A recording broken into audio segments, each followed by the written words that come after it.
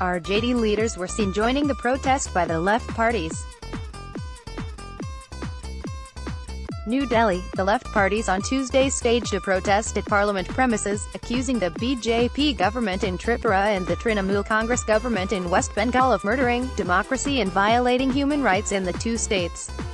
Lawmakers of the left parties allege that there has been an increasing number of incidents in the two states where human rights and political freedom of people have come under severe threat. The change of regime in both states has been accompanied by an unprecedented, sustained violence and attacks in all spheres against the members and supporters of the left parties.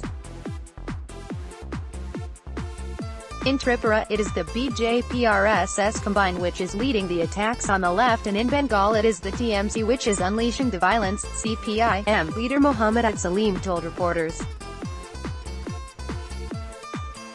The Trinamool Congress also staged a sit-in at the same time in front of the Mahatma Gandhi statue in parliament premises accusing the BJP of patronizing the culprits behind the incidents of lynching across the country.